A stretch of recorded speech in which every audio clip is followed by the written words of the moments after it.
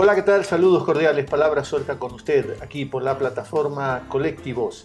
Este programa, domingo 17 de noviembre de 2019, estamos grabándolo acá en la ciudad de Quito, pocos días antes de su emisión al aire. Y nuestro personaje de esta entrega dominical de Palabra Suelta es Leonidas Isa. Leonidas Isa es ingeniero ambiental, por la Universidad de Cotopaxi, dirigente histórico de las comunidades indígenas y de campesinos de Cotopaxi. Eh, Leonidas Sisa está en su segundo periodo, elegido como presidente de esa importante organización, y además le tomó la posta a su propio padre, porque es otro dirigente histórico, José María Isa eh, Viracucha. Me ha hecho la corrección eh, Leonidas para no decir Viracocha, porque esa es una inflexión más bien del castellano, en quichua es viracucha. Eh, así que eh, podríamos decir que nuestro invitado eh, viene de los dioses, porque hay que recordar que se trata de un, dios, viracucha. Leonidas, entonces con nosotros. Bienvenido, Leonidas. Gracias por estar con nosotros. Muchas gracias por la invitación. yo creo que es un momento importante para poder conversar y los medios eh, siempre son importantes para poder difundir realmente la verdad y no lesionar de pronto, ¿no es cierto? Al menos en estas coyunturas difíciles. Entonces, en ese sentido, un saludo cordial a nuestro querido Ecuador.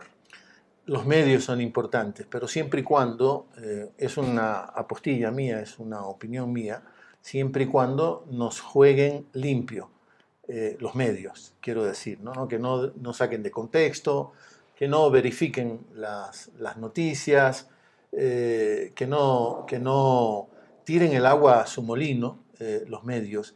Y estamos también, creo yo, viviendo un momento de difíciles y complejas relaciones con esos medios. Así es, por eso nosotros hemos mantenido y reconocemos a los medios alternativos comunitarios. La verdad debe levantar sobre una realidad. A veces construimos verdades fuera de la realidad construimos verdades eh, intentando encontrar algo que no existe en la realidad y eso realmente lo que conlleva es que a confrontar en la sociedad ecuatoriana y lo que hemos visto es que no hay una confianza de los medios masivos que en este caso están comunicando a la población ecuatoriana en su máxima potencia, digamos, ¿no es cierto? No hay como esta, esta mm, responsabilidad, podríamos decir, ¿no es cierto?, frente a aquello. Leonidas, pero tú mismo has sido comunicador. Eh, allá en Cotopaxi, en tu comunidad, has estado manejando un programa, no sé si estoy equivocado, incluso programas de televisión, haciendo conversaciones, entrevistas. Sí, miren, nosotros tenemos el primer medio de comunicación televisado, eh, de televisión, digamos, ¿no es cierto?, comunitario, que es el TVMIG. Ya, eh, yo soy el representante legal, soy el presidente del movimiento indígena y un, em, un acto, digamos, ¿no es cierto? Que un espacio que tenemos, digamos, es la televisión comunitaria. O sea, tenemos bajo políticas comunitarias, decisiones comunitarias, se hace la comunicación alternativa comunitaria en base a esta realidad. Esta es una experiencia importantísima porque la ley manda a tener medios privados, públicos y comunitarios. Así es. Y el recorrido con medios comunitarios ha sido muy pequeñito, muy escaso. ¿Cuál es la experiencia de ustedes? Mire, nosotros nacimos en el 2007, o sea, antes de que ni siquiera aprobara la nueva constitución, estábamos en este proceso eh, muy importante para el Ecuador. Nosotros nacimos em, bajo una decisión, digamos, ¿no es cierto?, de las, bajo una necesidad, lo que en este momento seguimos lidiando. O sea, ¿qué se decía de nuestras comunidades? Por parte de los medios de comunicación o en dónde se concentraba la comunicación. En muchas veces en la urbanidad, en el barrio marginal y nunca se ha, se ha intentado ver lo que realmente tienen las comunidades. A más de tener condiciones de empobrecimiento, pero en qué condiciones también el sostenimiento de la economía de nuestras comunidades. A partir de ello, nuestros eh, dirigentes históricos que pasaron en su debido momento lograron confluir para este medio importante de comunicación. Por ello, en este momento que ya se tiene la ley y se intenta flexibilizar, digamos, algunos temas, ¿no es cierto?, se ha hecho mal uso de, este, este, de esta ganancia, digamos. Ahí está contemplado en la ley, garantiza medios, medios comunitarios, medios públicos y medios privados. Solo garantizando una equidad, en este caso en la redistribución yo creo que se hubiera potenciado realmente las voces de los que nunca han sido escuchados. Pero hemos tenido un drama también, Leonidas, que es que en nuestra sociedad ecuatoriana básicamente hemos vivido con los medios privados, ni siquiera medios públicos, y menos aún comunitarios. Y entonces la experiencia es compleja, porque no hay una escuela de formación para ejercer, por ejemplo, un periodismo comunitario, porque no es lo mismo eh, hacer un periodismo con otras lógicas, de los medios comerciales, que un periodismo comunitario. ¿De qué se han valido ustedes? ¿Cómo, hay, cómo han ido formando a la gente que hace la televisión comunitaria? Mire, yo creo que es un patrón eh, cultural que tenemos que ir rompiendo, ¿no? Eh, un patrón también de la visión comunitaria y eso saludar a las universidades que en este momento, bueno, han trabajado ya mucho tiempo, pero en este último tiempo están haciendo los esfuerzos para entender este otro tipo de comunicación alternativa y comunitaria. Es así que nosotros, eh, ¿cómo empezamos realmente no, eh, a sostener la comunicación comunitaria televisada? Porque no es fácil. No. ¿no? Tres condiciones. Primero, la línea editorial tiene que estar bajo la, eh, la cuestión comunitaria. O sea, no podemos salir de esos límites. Entonces ahí es medio complejo. Si tenemos una cuestión comunitaria, nosotros privilegiamos el, el, cómo interculturalizar la sociedad, cómo plurinacionalizar el Estado, digamos, ¿no es cierto? Trabajamos muy fuertemente en el tema de los 21 derechos colectivos. Entonces, educación, salud, soberanía alimentaria, páramos, aguas. Si nosotros tenemos en ese nivel, digamos, ¿no es cierto? La línea editorial, por ejemplo, nosotros no podemos, sabiendo que estamos trabajando fuertemente por soberanía alimentaria, no, tú, por, la, por la televisión comunitaria, no se puede difundir, por ejemplo, el uso de los agroquímicos. O sea, no, cuestiones que realmente permita potenciar lo que estamos teniendo nosotros.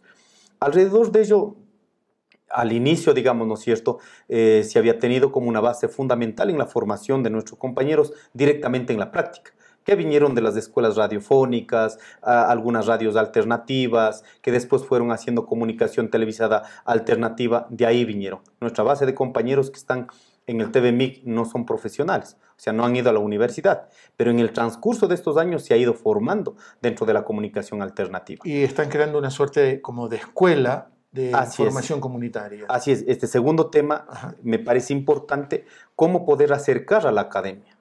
Si nosotros recurrimos a lo que produce el Ecuador en términos científicos, ¿no es cierto? La academia está ahí.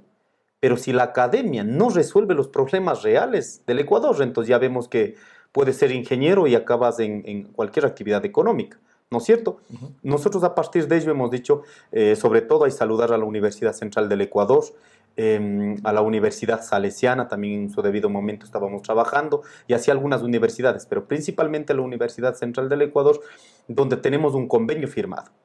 En este caso con los comunicadores, con los formadores de comunicadores comunitarios que tenemos directamente en el territorio. Pero tenemos una escuela de formación permanente para comunicadores eh, populares, comunicadores comunitarios. Estudiantes de la central, por ejemplo, pueden ir a hacer prácticas en TVMI. Efectivamente, tenemos en el convenio y también tenemos a la Universidad Técnica de Cotopaxi, que todos los eh, estudiantes del último ciclo hacen pasantías.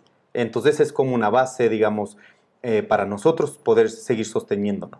Ese es un segundo tema. Y un tercer tema que como referencia el TVMI que ha pasado es en el tema económico, que es muy complejo. O sea, para los medios públicos sostiene el Estado, para los medios privados, lógicamente, de ahí mismo reproduce, pero para los medios comunitarios es muy complejo. Si hemos tenido que sostener incluso eh, bajo inversión bajo aportes, digamos, solidarios de las comunidades, de las organizaciones, o nuestras gestiones que hemos hecho a nivel nacional con algunas instituciones solidarias que han ayudado a sostener estos procesos. Pero debería el Estado complementar también la financiación de este tipo de comunicación, de los medios comunitarios. El Estado debería hacerse cargo de la financiación de esos medios también. Así es, nosotros dentro de la propuesta que habíamos puesto en hace dos años, habíamos dicho, oiga, nosotros estamos haciendo el trabajo de lo que debería hacer el Estado. Por lógica debería garantizar una base económica para el funcionamiento, en este caso de los medios comunitarios, pero no la tenemos. Por ello estamos trabajando fuertemente dentro de la ley, está presentado también de ley, tiene que haber por ley, en este caso un aporte económico al funcionamiento de los medios comunitarios, porque no está haciendo nada más que reproducir o dar a conocer lo que están haciendo las comunidades. De eso no se saca ningún lucro económico. Por eso es importante. Al, al, conjunto de la sociedad nos va a ayudar eh, eliminar los prejuicios, eh, conocer más profundamente lo que está pasando en las comunidades y quizá nos vamos a acercar a lo otro, a lo que no conocemos muy bien, con mayor lealtad, sin tanto miedo y sin tanto prejuicio. Así es. Nosotros, eh, a más de esta línea editorial que trabajamos todo el tema de los derechos colectivos, nosotros hemos tenido también como dos, hemos dicho, dos condiciones. ¿Por qué hacer comunicación comunitaria? Uno, cómo garantizar una comunicación interna, adentro de las comunidades. ¿no? Que haya como esta línea de conducción eh, desde la comuna, organización de segundo grado, organización provincial, regional y nacional.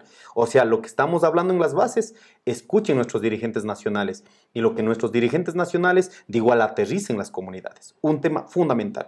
Segundo criterio, hemos dicho, ¿Cómo le interculturalizamos a la sociedad?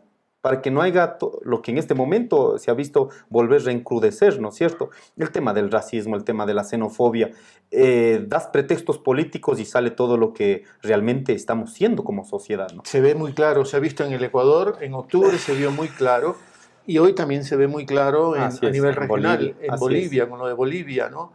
con el golpe a, a, Evo Morales y toda la cantidad de insultos que se han eh, practicado contra, contra Evo Morales. Aflora, en esos momentos de, crisis, digamos, ¿no?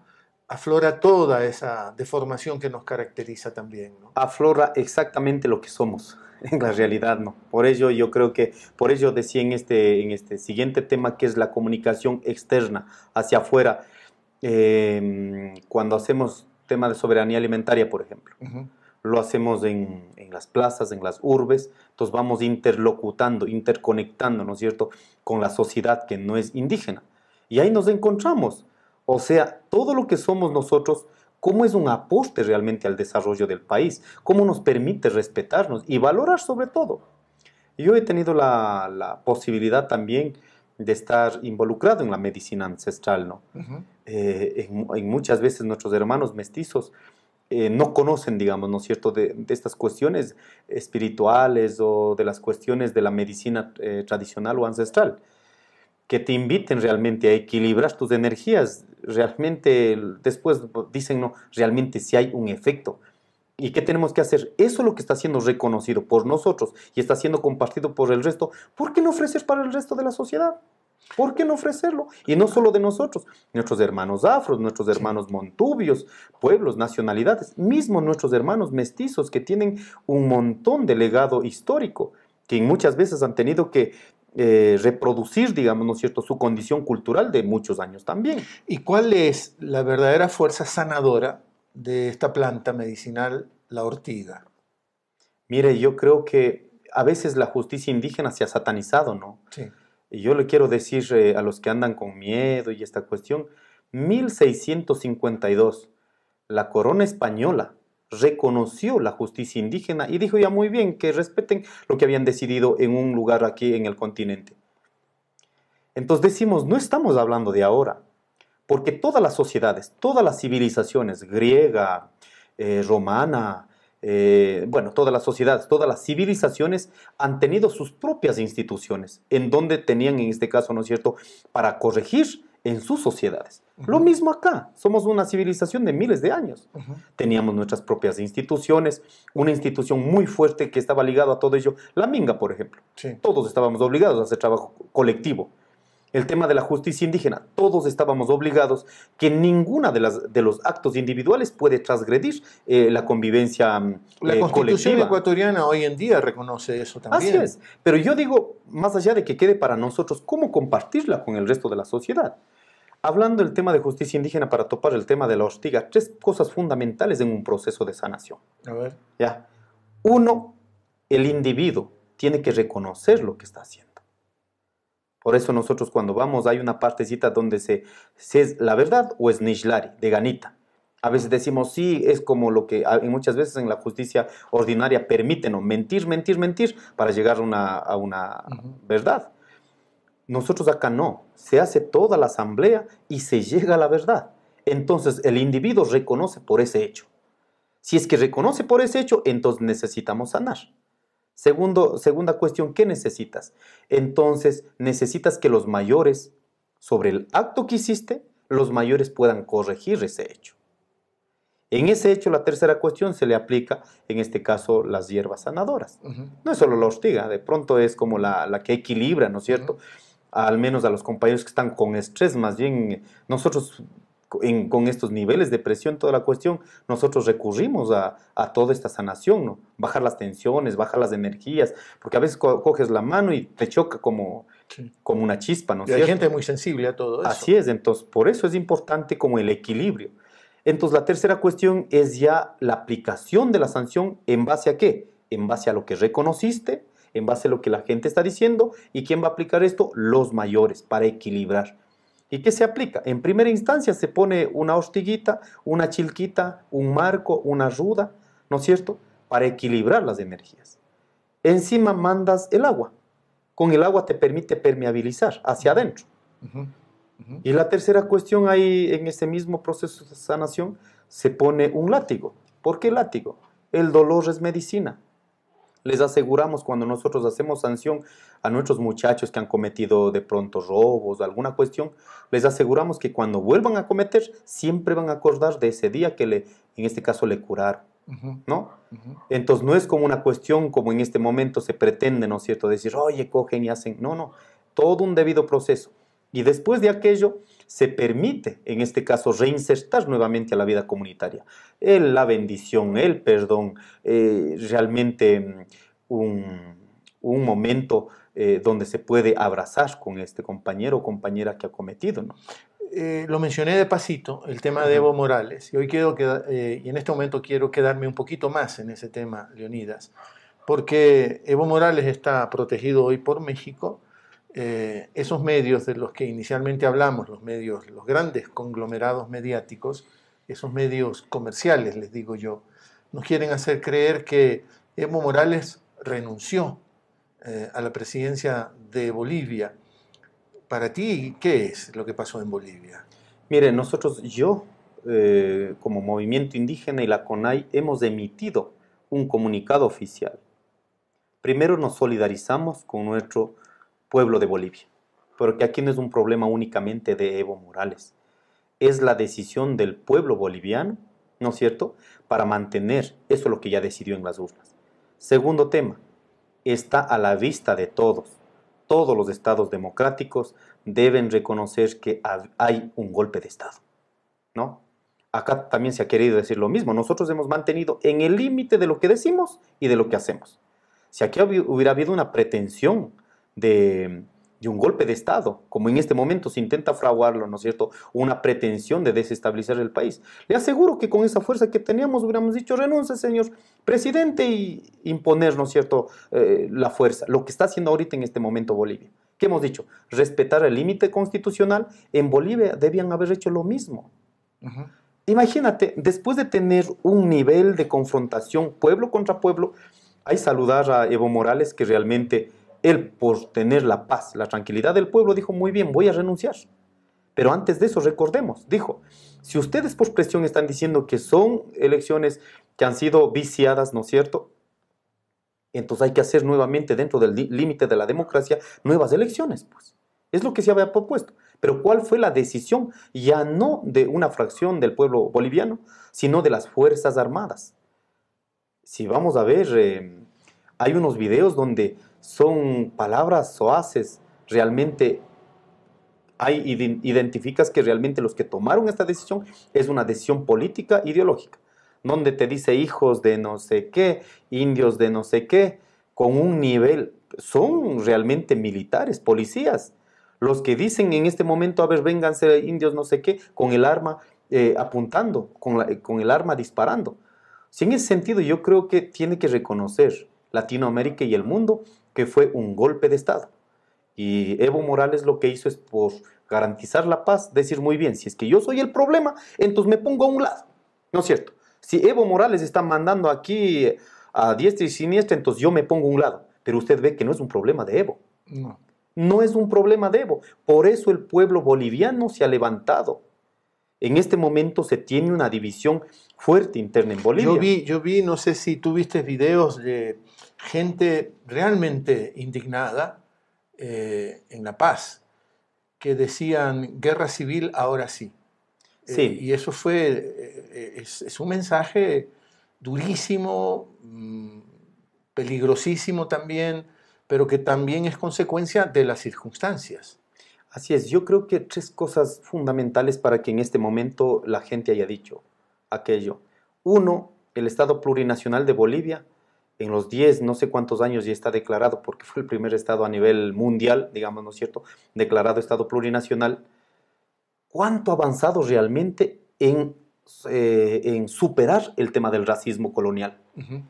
Vemos que no. No. vemos que no.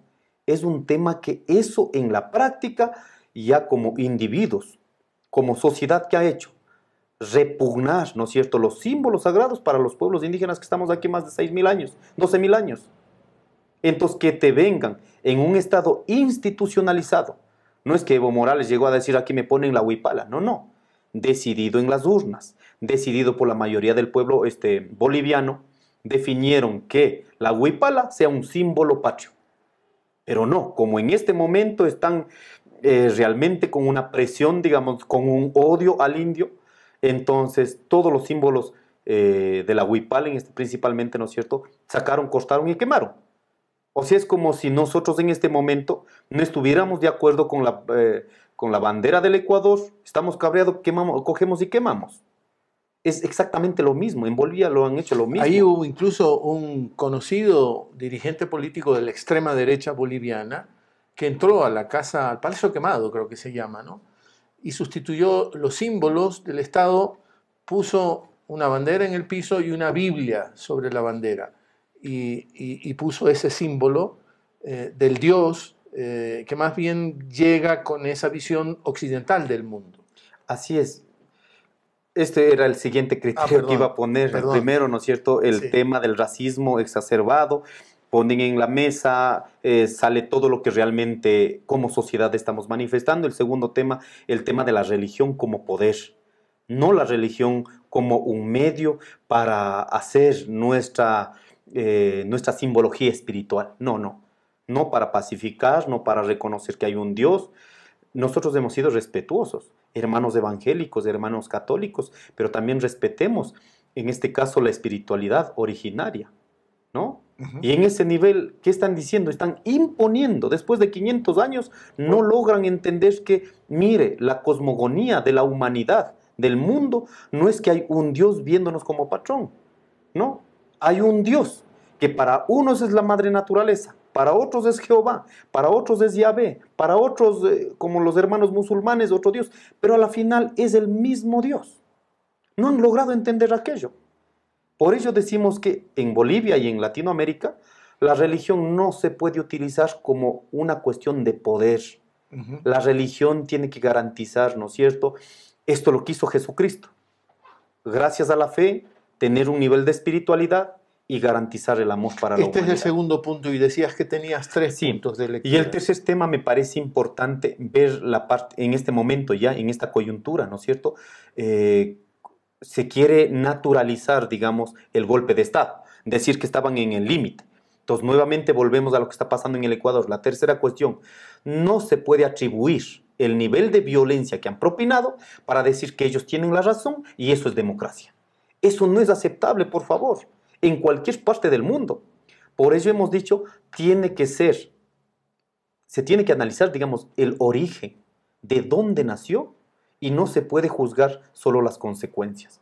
Es así que en este momento no se puede aplicar la violencia para justificar diciendo que eso es democracia. Ujú. Es lo que en este momento también en el Ecuador nos da mucha pena que aquello se quiera instaurar, ¿no? Y efectivamente nosotros decimos al pueblo de México que ha acogido no solo a Evo Morales, sino a los representantes. Yo reconozco tres cosas asimismo importantes de Evo Morales en su mandato lo que no ha pasado también aquí en el Ecuador. Por eso también acaban los proyectos que pueden tra- ser transformadores, se acaban contaminando. La primera cuestión que saludamos, Evo, y que tiene un montón de errores. No estoy diciendo, al menos nosotros hemos tenido mucha crítica en, este, en, en la forma de, de gobernar como tal, ¿no es cierto? Pero, Pero- uno reconoce, ¿no es cierto? Uno reconoce, por ejemplo, funcionarios, hermanos, amigos de él que estaban toda la vida, pero que estaban involucrados en actos de corrupción. Él no ha tenido este, ninguna, ninguna cuestión eh, aliviada, digamos, ¿no es cierto? Yo sé cuántos hermanos que cometieron actos de, de corrupción han ido a la cárcel. ¿Por qué? Porque uno para gobernar un proyecto de país, de Latinoamérica y de transformar la humanidad, tiene que ser apegado a su condición ética. Y eso, si es que de aquello depende que el resto no está siguiendo, pues se tiene que aplicar mano dura. De- Pero a Evo, veces- Evo fue muy claro en eso, ¿no? Por eso yo Y creo eso que en este momento, en este momento lo ha tenido este, nuevamente, ¿no es cierto?, ese apoyo. La Segunda. segunda cuestión me parece importante que los recursos que da la madre tierra, que tiene Bolivia, como todos los estados en el mundo, poder re- reinvertir, ser genios y eso potenciar eh, a nivel continental y mundial, me parece importante. Y eso no reconocer porque están cabreados con un indio que gobierna, me parece desastroso lo que ha hecho, ¿no? Y el tercer Si vamos a ver en, en términos de referencia económica, es uno de los países con mayor crecimiento económico. Y la tercera cuestión me parece importante, la soberanía del país. ¿No? O sea, sí ha hecho créditos también. Aquí el Ecuador necesita créditos, lógicamente, pero hay que tener soberanía. Y para tener soberanía hay que tener dignidad. Incluso los más ricos, los más visionarios o los empobrecidos, tenemos que tener dignidad, pues. Uno puede llegar a ser rico, pero no por imposición de nadie, perdóneme. Y en Bolivia me parece importante el tema de la soberanía que decidieron sobre las condiciones, sobre las realidades de Bolivia. Por ello, en este traspaso que están haciendo en términos científicos, ¿no es cierto?, en términos tecnológicos, eh, cambiar el patrón de la energía, pasar del, del uso de los combustibles fósiles a combustibles más sanos, me parece importante. En estos días estaban lanzando, ¿no es cierto?, cómo estaba eh, la mina que tiene Bolivia, cómo puede potenciar internamente y eso sea beneficioso para la humanidad. Pero, ¿cómo hacemos mientras ese capitalismo, el capitalismo voraz, el, que- el capitalismo salvaje, el capitalismo que no para de crecer, que no reconoce la necesidad de que se puede vivir bien eh, sin más crecimiento económico, es el gran problema para toda la humanidad? Porque de eso se trata, y de eso se trata en el Ecuador, y ya vamos a hablar de, y te quiero pedir eh, pronunciamiento sobre esa ley económica que es terrible, el, el decreto 883 que eliminó los subsidios a las gasolinas se queda chiquitito al lado de todo lo que están queriendo proponer con esa ley económica. Entonces, ese capitalismo salvaje nos plantea los más grandes desafíos en la organización planetaria actual. Así es. Yo creo que la humanidad tiene que tomar una decisión. Ajá. Aquí hay dos cuestiones absolutamente claras. Tenemos una presión ambiental que está acabando con la vida. Sí. ¿Gracias a qué? Gracias al crecimiento económico. ¿No es cierto? Entonces tengo que explotar a mis hermanos seres humanos, tengo que explotar a la madre naturaleza, hago lo que tenga la gana para garantizar las ganancias y ser competitivos entre empresas. Entonces, la primera decisión de los seres humanos, no estoy hablando aquí del gobierno ni de los gobiernos, la humanidad debe decidir.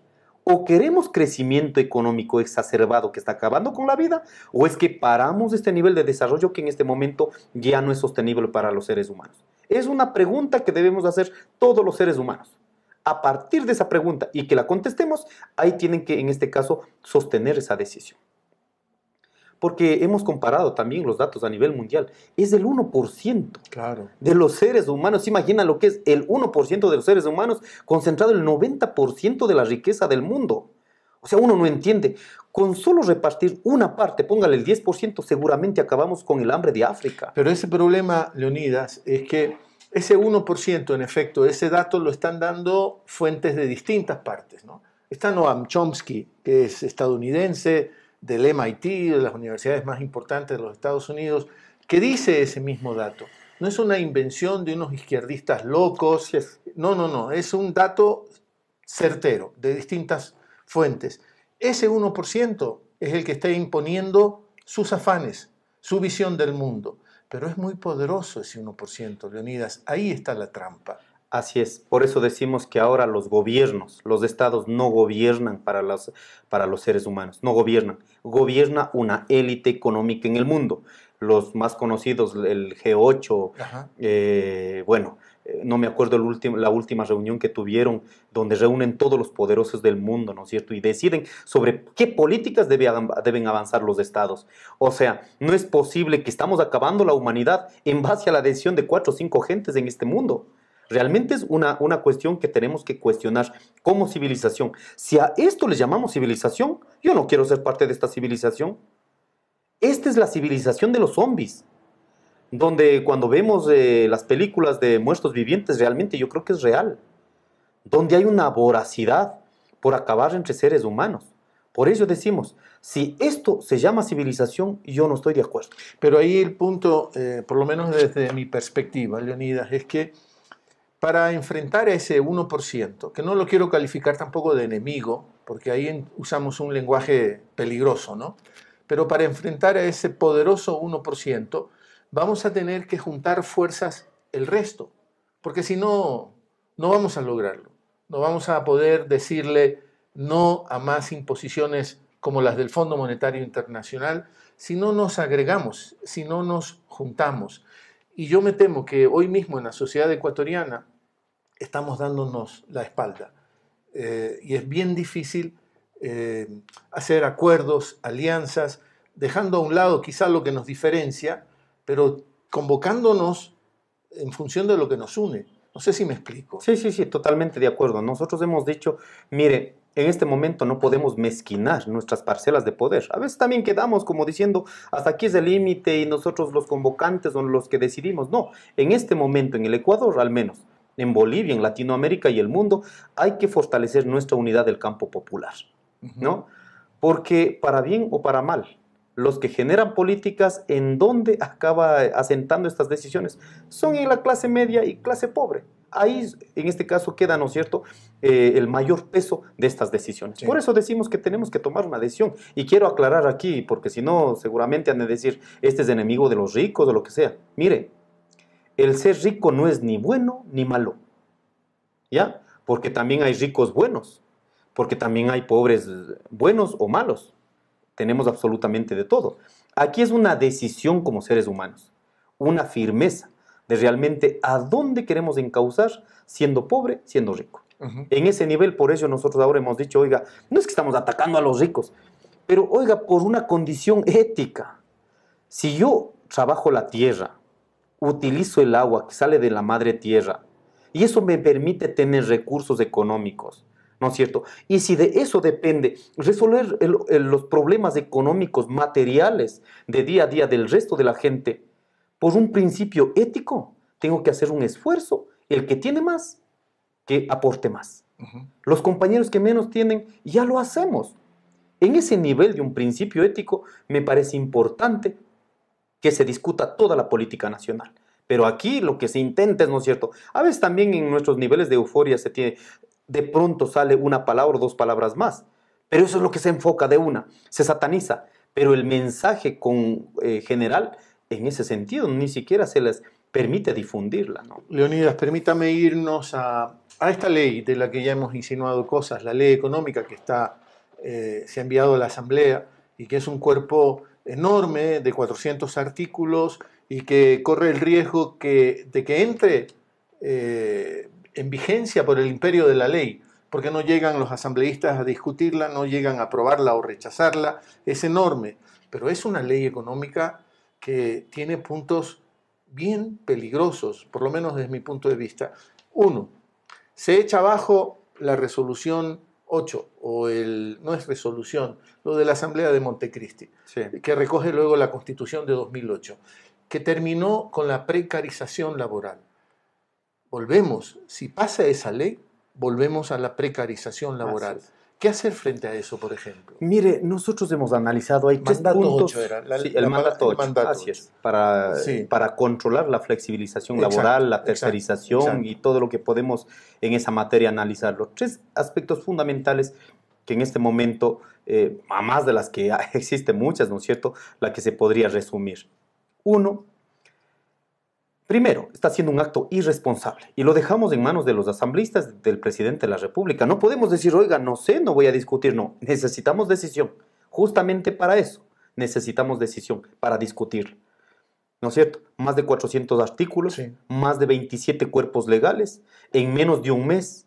Por Dios. O sea, no es que todos los ecuatorianos son economistas o juristas, pues. Si queremos tomar una decisión real, apegado a la realidad, entonces necesitamos discutirla con tiempo. Entonces, tres problemas nosotros al menos que hemos analizado. Una primera cuestión, se va a garantizar la flexibilización laboral, la tercerización y no va a haber respeto para nuestros trabajadores, obreros, sean de, del sector privado o del sector público. Ya como vimos lo que en este momento pasó, ¿no es cierto? Se pretendió bajar 15 días, eh, el tema de los horarios.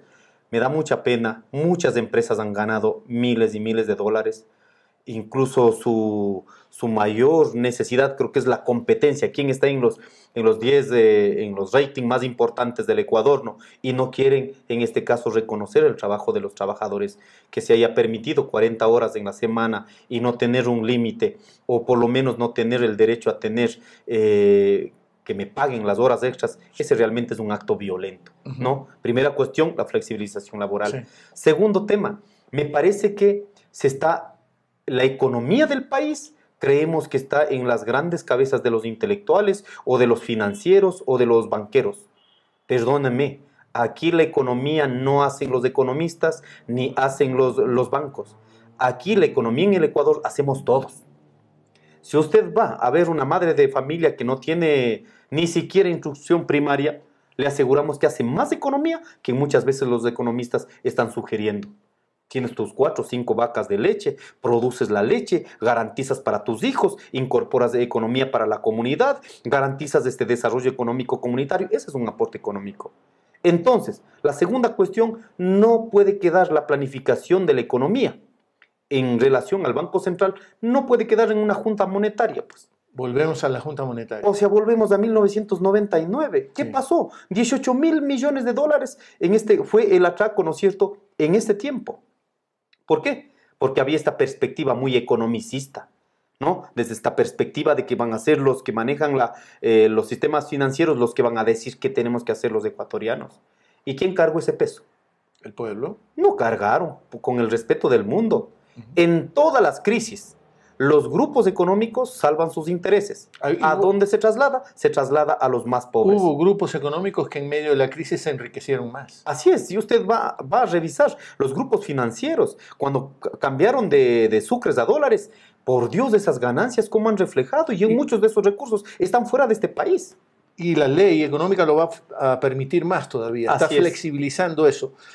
antes de pasar a otro tema, porque le quiero proponer, Leonidas, eh, no estoy yo tan seguro si tutearte o tratarte de usted, porque... Bueno, como eh, sea. Yo me siento cómodo como estoy diciendo. ok. Eh, y lo mejor es cuando uno está cómodo, ¿no? Así es. ¿Cuál era la tercera cosa? Y la tercera cuestión me parece importante, el tema de la dolarización. Con esta ley se desdolariza. Sí, están hablando incluso... pero por Dios, es que, vea, Hemos revisado de manera general, ¿no es cierto? Estoy metiendo a leer economía realmente en este último tiempo para en base a los criterios reales poder también dar criterios económicos. O si en compensaciones, en subsidios, en toda la cuestión, más o menos el Ecuador tiene más de 40 mil millones de dólares. ¿No? Más de 40 mil millones. Y a veces decimos que el subsidio está generando un problema de la, de la dolarización. Cuando tú tienes 1.400 millones en el año, ¿Y a dónde está generando esos subsidios? ¿A quiénes está ayudando? Es a la clase media, clase, eh, clase media y baja. ¿Dónde principalmente es importante los subsidios? Sí. ¿Y ahora qué se está pretendiendo hacer? Después del relajo que se tuvo en el Ecuador, después de tremenda movilización que tuvo el Ecuador, mandar por una decisión del presidente de la República a identificar carritos y motos en las comunas, me parece realmente faltar el respeto a la decisión del pueblo ecuatoriano. Por eso, ¿qué hemos dicho? eso, Leonidas, para entender bien?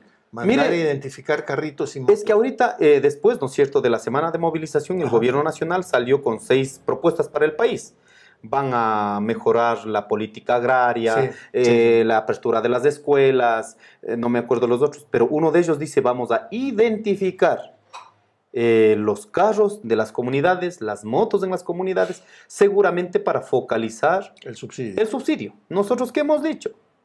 Focalicemos a los que más tienen. Porque la clase media, yo solo pongo a preguntar, ya no voy a hablar del tractorcito, hablemos de la clase media, que seguramente tiene un negocito, va a cargar su producto para comerciar, si tiene que poner combustible. Eh, ¿De dónde va a sacar esa plata para poner más eh, eh, más gasolina, digamos, para cubrir el costo de la gasolina. Quiera o no quiera, de su negocio va a tener que incorporar como un costo de producción, pues. Claro. Porque no estás, no estás únicamente sirviendo de tu carrito, ¿no es cierto?, para ir del trabajo a la casa, no.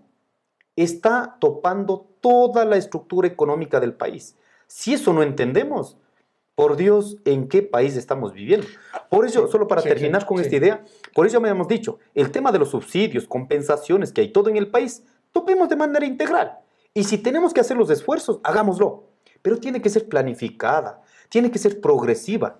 Nosotros decíamos, oye, con que haya sufrido eh, desde cuando decidimos, ¿no es cierto? Hasta ahora, donde hayas ido topando, yo que sé, 5 centavos, 10 centavos, seguramente la economía no hubiera subido, no hubiera sentido, digamos. Pero si en este momento sacas de una y pones, por Dios, eso es desastroso realmente para la economía. Entonces, solo para terminar con el tema de por qué de la desdolarización que produciría este tercer punto, si en este momento, teniendo la norma, ¿no es cierto?, hay más de 30 mil millones de dólares fuera de países, de nuestro país, haciendo negocio afuera. Pero si es que bajas en el 50%, ¿qué va a suceder? Los grupos económicos van a sacar a hacer negocio afuera. Si tienes ahorita 30 mil, luego será el doble, 60 mil, luego será el triple, 90 mil. Ahí realmente estamos sacando los dólares afuera y puede caer la dolarización en este país. Y el otro problema que también general, ¿no? aparte del secretismo con el que se está tratando el tema, ¿no? porque no se lo difunde, ¿no? La, la gente común no está enterándose de lo que está pasando con este proyecto de ley económica, es el tema fiscal. Otra vez volvemos a esas visiones fiscalistas de la economía. Hay que reducir el, tema fiscal. Y entonces, en esa reducción, o mejor dicho, de la brecha fiscal, en esa reducción, entonces se pueden ir, se pueden llevar, se pueden, pueden arrasar con las políticas para educación, con las políticas para salud, con las políticas de asistencia social, porque en esa lógica todo esto es gasto y no es inversión. Y todo eso puede ayudar a reducir en esa obsesión que tienen el déficit fiscal. Va a ser muy caro si dejamos pasar esa ley. Mire, sobre asimismo tres criterios. En el tema del Fondo Monetario Internacional, por principio, los ecuatorianos debemos saber qué firmar. ¿Por qué? Porque claro, sabemos que son 4.200 millones de dólares que necesitas que entre al presupuesto general, general del Estado porque vamos a hacer crédito. Digamos que aceptamos. El, el gobierno acepta pero ¿quién va a pagar esa deuda? ¿Acaso va a pagar el gobierno? ¿Los ministros? No. Si eso viene al Ecuador, vamos a acabar pagando todos los ecuatorianos. Por ello necesitamos transparencia en esas decisiones. Por ello habíamos dicho, sí, necesitamos crédito, pero no por imposición. Tiene que ser en esta visión de país de realmente salir hacia adelante. En este, en este recorte fiscal que se está haciendo, ¿no es cierto? Se ha hecho creer a la ciudadanía, donde el mayor gasto está en, la salud y está en la educación. Mire, si nosotros hubiéramos hecho en este momento, nosotros propusimos cuando ingresó el presidente de la República, después de 10 años que no se ha permitido el derecho a la educación superior, por ejemplo, solo potenciando en el 10% en todas las universidades, que pongas un presupuesto del 10% que tienes más en este momento, te aseguramos que resolvemos el problema del ingreso de los jóvenes a las universidades. En cinco años, ¿qué tienes que hacer? Con, ese, con esa inversión que estás haciendo en la juventud, que esa juventud, su formación esté apegado a la realidad. No podemos formar en ilusiones. Lo que ha pasado en, muchas carreras que no tienen vínculo con la realidad, acaba en la ilusión. En muchas veces acaba Pero dijiste, dijiste en 10 años en donde no ha habido acceso a la educación superior. Eh, no, no, en los últimos 5 años, ¿no es cierto? 5 años está... Em, ¿cómo se llama esto? Está relegado, está apretado, ¿no es cierto? Más de medio millón de jóvenes que no pueden ingresar a las universidades. Ahora ya es como una ilusión ir a estudiar. ¿Qué decimos? Frente a esto lo que no han podido ingresar, porque en 2013 creo que empezó la ley, ¿no es cierto?, de, de educación superior, que no es un derecho, es un privilegio. Entonces, los que son, los que quieren ingresar a las universidades, tienes que tener tu intelecto. Si es que no tienes tu intelecto, entonces no, da, no puedes dar la prueba, entonces no entras a la universidad. ¿De cuándo acá? En el, en el mundo, la educación es un derecho. Por eso hemos dicho, repotencia en estos cinco años, ¿no es cierto?, haciendo una programación con el 10% del presupuesto que tienes en todas las universidades, le aseguramos de manera planificada, resolvemos el problema del ingreso de las universidades. En el tema de salud, por Dios, ¿qué tenemos que hacer? La salud tiene que estar mucho más acercado a, a, las comunidades donde estamos enfrentando estos temas, pero ahora se ha centralizado. Bueno, ahora ya no hay ni siquiera el paracetamol, ¿no? Todo ha ido reduciendo realmente. Entonces yo creo que estas políticas en este momento que se ha reducido ya para el presupuesto 2020 83 millones de dólares, se reduce para materia de educación. Todos estos temas realmente no son un mensaje bueno para los ecuatorianos. Pero yo digo, hagamos un esfuerzo. Yo les quiero ver de manera moral, ética. ¿Quiénes están dispuestos a reducir el sueldo, en este caso, de la, de la burocracia que sí tiene? Para no decir burocracia dorada, porque se van a resentir, ¿no? De los que sí realmente tienen. Hagamos ese esfuerzo les aseguramos que cuando veamos que los que están conduciendo este país hacen el esfuerzo, bajemos al 50%. Le aseguramos que el pueblo ecuatoriano va a hacer ese esfuerzo. ¿Ya? Recaudemos Pero y, por vía, y por vía de mejor recaudación de impuestos, eh, Leonidas, por vía de eh, impedir esas flexibilizaciones, porque hay muchos analistas que están diciendo si pasa esta ley, estamos también auspiciando la fuga de capitales y por eso la amenaza a la dolarización también.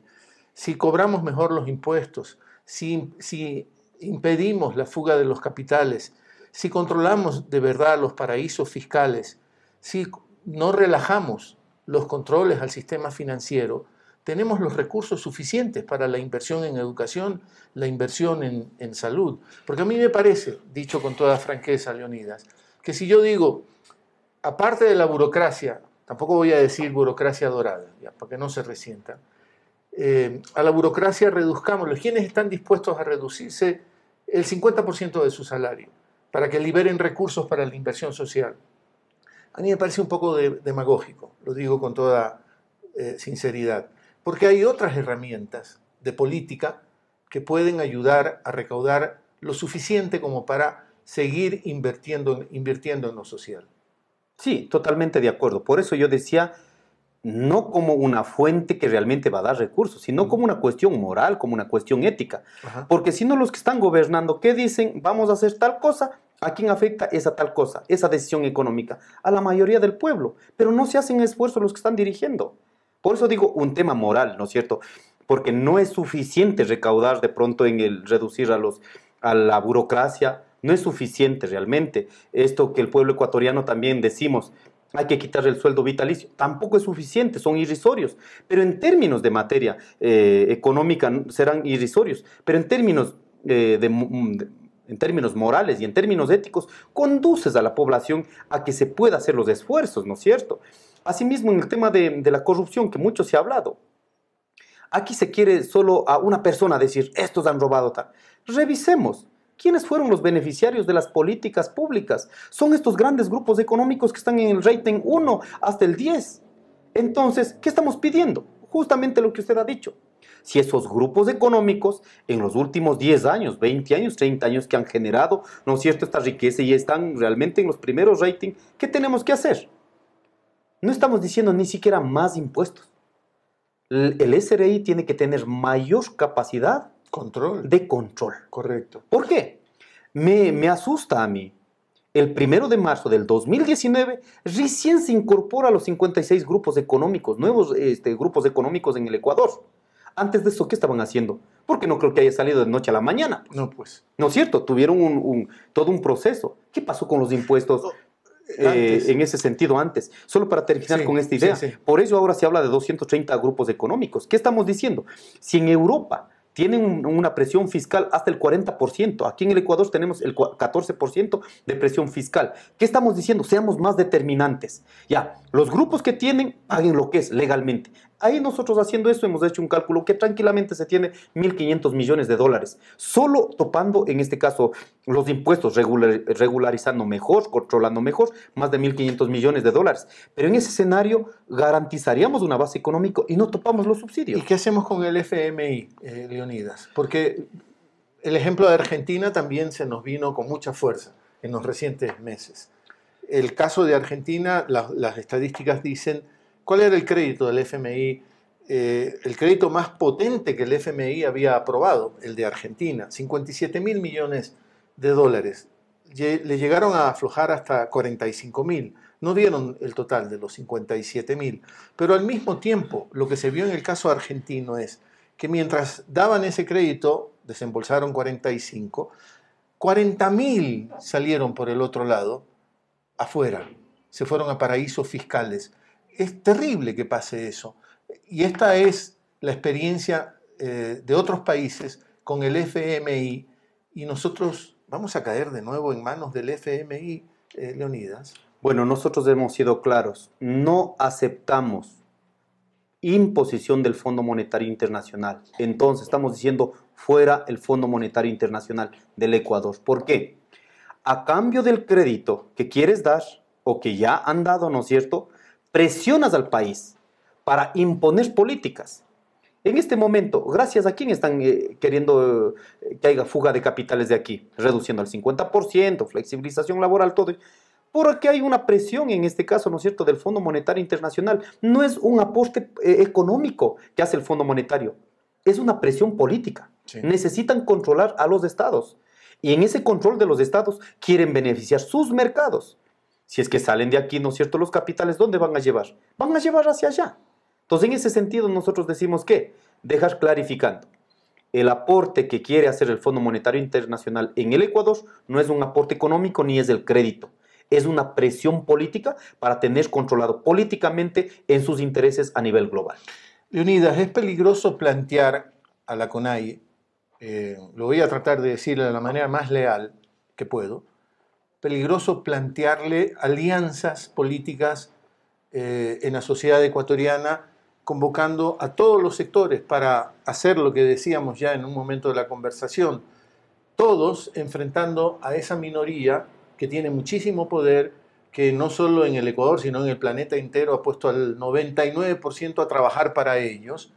Se necesitan alianzas, alianzas políticas amplias, poderosas, pero insisto, vivimos un momento en el que parecería eh, que no es posible esas alianzas. Se ha satanizado a los distintos, a, otros grupos. Eh, he escuchado, por ejemplo, a mí me parece que se ha utilizado mucho la ley para perseguir políticamente a las personas. La prefecta elegida, electa popularmente de la provincia de Pechincha, está presa. Y he escuchado decir, bueno, está bien, que lleven de su propia medicina ¿De esa manera se pueden construir alianzas? Mire, yo voy a ser claro. El derecho a la protesta no es una condición política. En consecuencia, con la misma fuerza que luchamos del movimiento indígena en la etapa del gobierno anterior, con la misma fuerza decimos no puede criminalizar la protesta. En este momento, no puedes escoger por venganza, pues por Dios. O sea, estoy contento porque ahora te meto a la cárcel. No, los derechos humanos no pueden ser un control político. Por ello, en este país no puede ser una persecución política a todos los que han luchado en este proceso. Es así que por ello decimos que han satanizado tanto, tanto, que en este momento necesitan encontrar esos enemigos internos. A presión, a fuerza quieren encontrar. Cuando es evidente una medida económica que te topó tus bolsillos. ¿Qué hizo el pueblo? Salir, ¿no es cierto?, a, a reclamar. En ese sentido, nosotros rechazamos la criminalización de la protesta. No vamos a poner nombres y apellidos para todos. No puede ser un control político el tema de la protesta, porque en este momento eso es lo que están haciendo. Y quiero decir también, muchos este, compañeros tienen su afinidad, ¿no es cierto? Muchos tienen su afinidad de creer en el que sea. Pero vamos a ver, ahora se ha satanizado el tema eh, de las últimas protestas, ¿no es cierto? Pero en ese nivel, ¿quiénes son los responsables realmente? Para mí son tres. Los que han beneficiado de la política eh, anterior y la de la actual. los grupos económicos, el gobierno nacional y el Fondo Monetario Internacional. Ellos deben responder en primera instancia y luego respondemos por las consecuencias. Pero en este momento se pretende encontrar, como digo nuevamente, satanizar estos temas y quieren criminalizar un derecho que está consagrado en la Constitución. He escuchado a viejos políticos que ya tuvieron su momento eh, satanizar, por ejemplo, a Jaime Vargas. Debería estar preso. Y lo dicen suelto de lenguas, no pasa nada. Ellos sí pueden eh, decir eso, ¿no? Debería de estar preso el presidente de la CONAI. Si yo me atrevo a decir que debería estar preso algún funcionario del actual gobierno, seguramente la fiscalía me, empieza a perseguir. Pero ellos sí pueden hacer eso. Estamos con una terrible desigualdad frente a la ley, eh, Leonidas. Mire, yo creo que incluso hay que analizar ya eh, no solo la reacción del pueblo, sino en términos psicológicos. O sea, yo siento que el gobierno nacional, una programación muy exhaustiva, donde incluso ha llevado sobre esa presión de no querer hacer caso, ¿no es cierto?, a exacerbar en muchos dirigentes. O sea, vos tienes dos años dialogando, no hay resultados.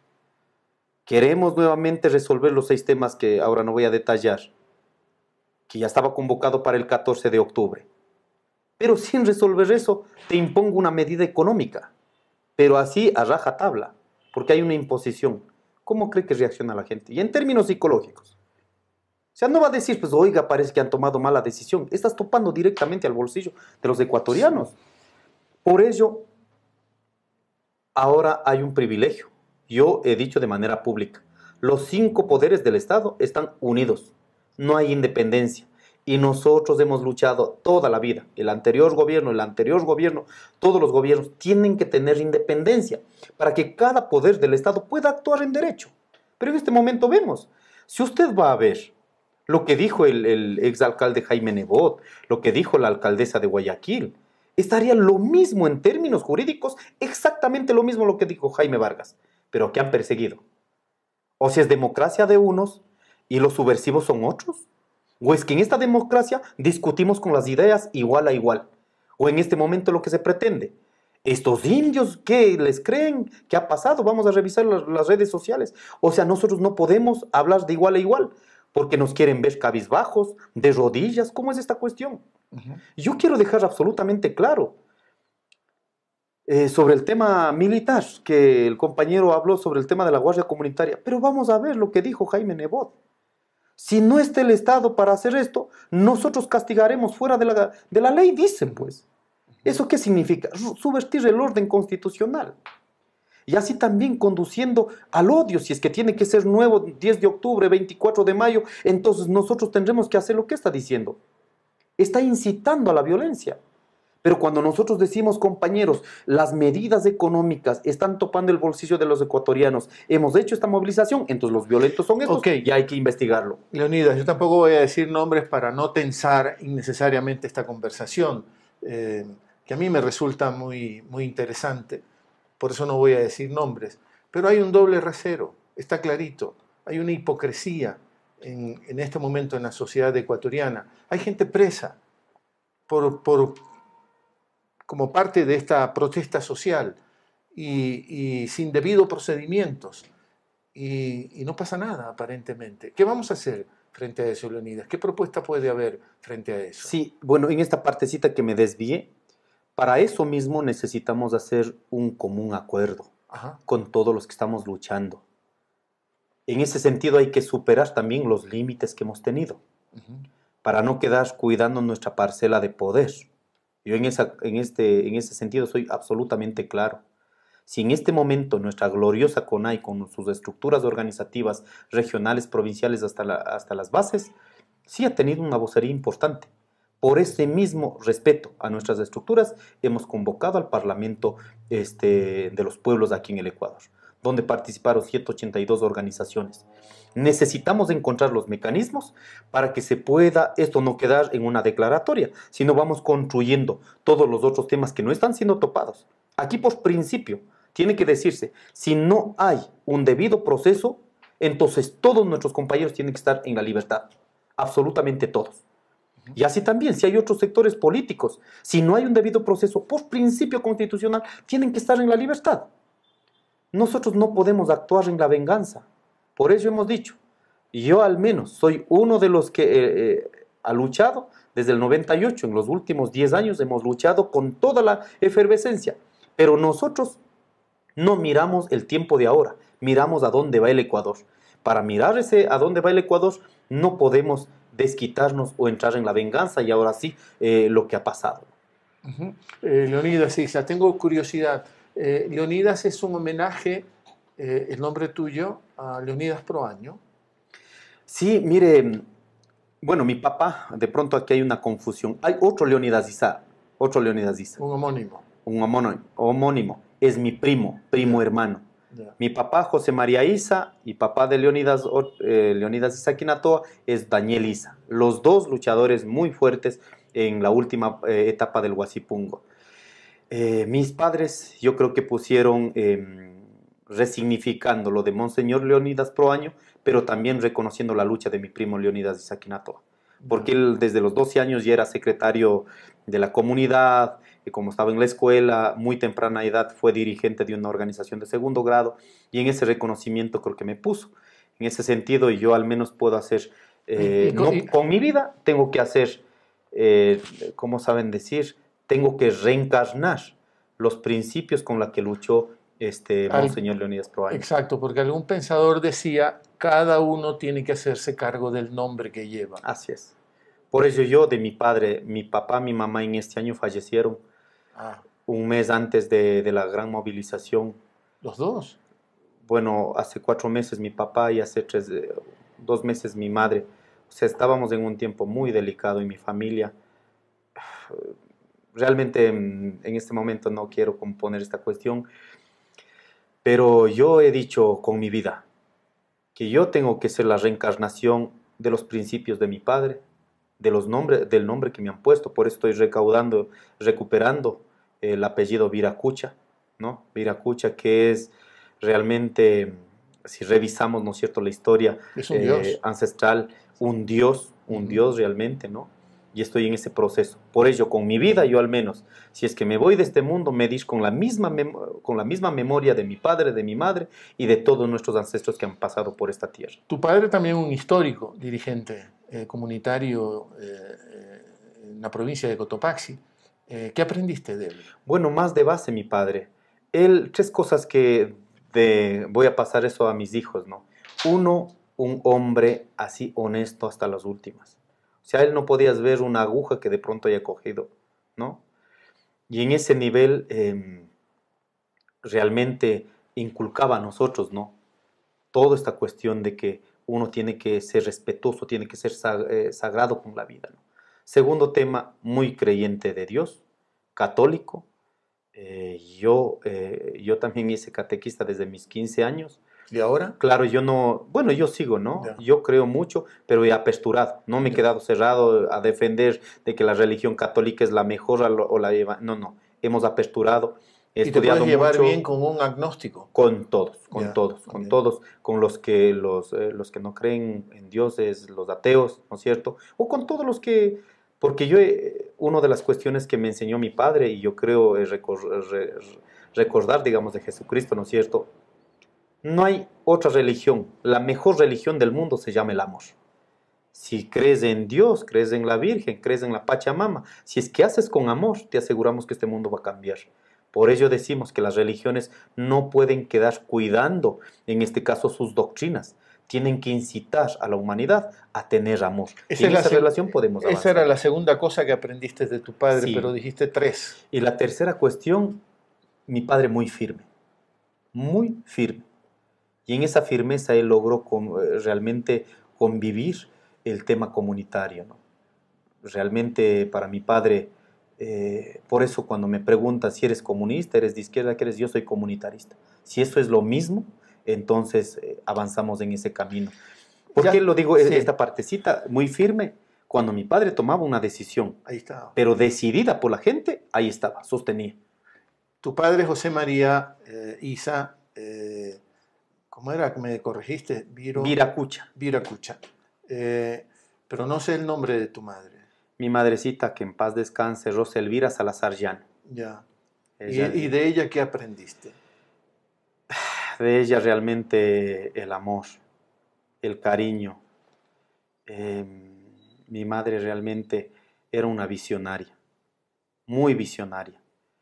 Ella en los últimos momentos que en, en mi mano falleció mi madre, en, el último día dijo, si es que alguna cuestión pasa, no te olvides dónde estés y yo voy a estar contigo. Y eso realmente es un, un tesoro. Sí, un tesoro. ¿Y cuántos hermanos? Eh, Somos ocho en total. ¿Ocho? Sí. Familia numerosa. Sí, pero yo, hay un poco también es de mucha responsabilidad que en mi casa realmente a quien tienen como referencias a mí. Entonces yo no puedo de pronto fallar con mis hermanos. O sea, ¿Eres el mayor? No soy el último. Ah, el último. realmente no. Entonces, yo realmente de mi madre, en su condición que pasó realmente, eh, toda la fuerza también, toda su firmeza, su decisión de cambio, de lucha. Y eso lo que dije es, humildemente voy a reencarnar. La mejor manera de recordar a nuestros mayores que ya adelantaron es todo lo que eran, intentar que en nuestra vida lo seamos. ¿no? Lo bueno para nuestros hijos también, dejar lo bueno. A tus ojos yo soy un Mishu, seguramente, ¿no? Lo, pronuncié bien, lo digo bien, ¿no? Sí, sí, sí. Em, ¿Es posible alianzas conmigo? Pero claro, mira, yo por eso decíamos, mira, no es un problema de ser indígena, cholo, montubio, mestizo, no. Los que estén dispuestos a cargar sobre sus hombros la transformación que necesita la humanidad. Ahí estamos, hacemos los esfuerzos. Y es más, en el último informe de algunos científicos que hicieron en, Latinoamérica, aquí no hay raza. No. Hay raza pura, por Dios. Mire, los más blanquitos que tienen eh, ojos azules, yo tengo un amigo así, ¿no? Tiene un ojo azul, ojos azules, así blanco. Él hizo un análisis genético. Tiene el 40% este, genética indígena. Entonces, si hacemos todos los ecuatorianos, les aseguramos que todos estamos mezclados las genes. Por eso decimos, si vos estrechas la mano, corta, eh, la mano, ¿qué sale de ahí? Sangre roja. Sí. Nadie, aquí no hay ninguna diferencia. Por ello decimos que tiene que ser un valor de la gente que estemos dispuestos en este nivel a cambiar. Aquí no vamos a juzgar una cuestión física. Aquí hay que juzgar nuestros actos, nuestra decisión, nuestro temple para transformar nuestro querido país. Muchas gracias, Leonidas, por haber estado aquí con nosotros en Palabra Suelta. Muchas gracias, yo le agradezco más bien eh, y hay que seguir conversando. Sí, claro. Eh, porque para nosotros la palabra es sagrada. Y esa palabra, mientras más se logre pragmatizar en la vida, realmente se avanza, ¿no? Por eso yo un poco también he cuestionado el tema de la educación. Yo soy una de las personas que en el momento que cuestiona la educación me voy a la práctica entonces, a mis hijos tengo en una escuela comunitaria que nos inventamos nosotros. Entonces, un poco para ir construyendo también Pero tú, esta Tú, tienes un título académico de la Universidad de Cotopaxi. Totalmente, totalmente. No estoy diciendo que la educación no sirve. No, no. No, no, no, para nada. Por eso decimos, este, lo que se vaya haciendo, eso también tiene que ir permeabilizando, ¿no es cierto?, en la educación general. Que ahí es una lucha así como con uno mismo, ¿no es cierto?, día a día, pero además también con los patrones de la sociedad que tenemos y hay que lidiar con esta civilización que me parece mm, injusto que llamemos civilización. Hay que recaudar la memoria histórica de los seres humanos. ¿Cuál fue esa memoria histórica? El ser gregarios. Andábamos en manadas al inicio. Entonces hay que volver a esos principios básicos de la humanidad. Pero no solo lidiar con la civilización, hay que intentar cambiarla. Así es. Por ello no hay que analizar la sociedad para decir que tengo razón. Hay que analizar para cambiar. Y ahí es el mayor esfuerzo. Por eso pedimos a los intelectuales, por eso un poco ahora estaba preguntándonos de em, cómo era el, auditorio que tiene acá abajo. Ah, sí, de, Bolívar Echeverría. De Bolívar Echeverría, de Agustín Cueva, muchos que apostaron aquí en el Ecuador, pero sobre todo en la academia, en la, intelectualidad de México, ¿no? Yo he leído también a los compañeros, pero necesitamos que ese análisis, eh, la academia, los intelectuales, sí está bien ese análisis, pero le queremos con esa misma fuerza que lo hacen en el intelecto, hagan con la misma fuerza en la parte para transformar. Hay que irse, eh, Leonidas, porque estamos intentando despedirnos, pero siempre surge algún nuevo tema. Eh, rápidamente, ¿cómo ves a México hoy? Bueno, yo eh, he revisado de manera general pero yo creo que hay un patrón general, ¿no es cierto? Un, indicador, no, patrón pueden malinterpretar, un indicador general que sí se está generando un proceso de justicia, ¿no? Y eso es importante. O sea, que hayas tenido después de un año con más de un millón de personas que te estén reconociendo esa gestión, yo creo que hay un indicador en el, en el pueblo de México. Y no necesitas, de verdad, no necesitas una, una cuestión así violenta. Y ese cambio que realmente se está avanzando es sobre la decisión de la mayoría de la gente, ¿no? Y es lo que necesitamos, cambiar, transformar. Leonidas Sisa, le reitero, ha estado aquí con nosotros en Palabra Suelta. A usted, como siempre, le agradecemos la compañía. Pásenla bien.